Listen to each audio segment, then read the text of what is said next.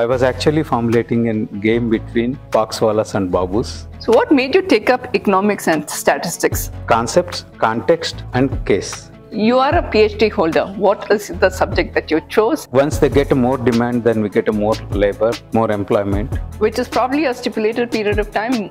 Endogeneity is something determines within the system.